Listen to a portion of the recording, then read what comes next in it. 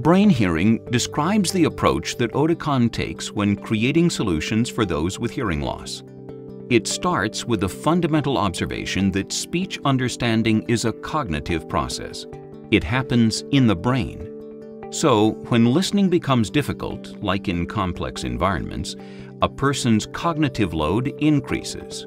How do we know this? Researchers can assess cognitive load through pupillometry, which is the measurement of pupil diameter, a well-known method of determining stress. In fact, multiple studies prove that as cognitive load increases, so does pupil size.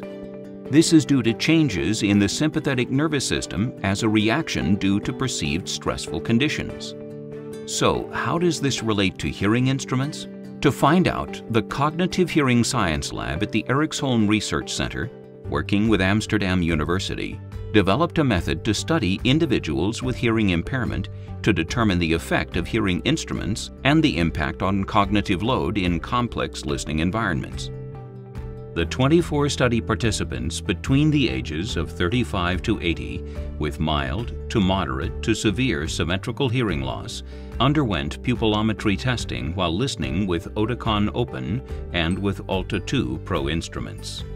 The eyes of the listener, as seen through the eye tracker, are measured for pupil dilation. A baseline measurement is established while the listener is relaxed and only listening to the background noise.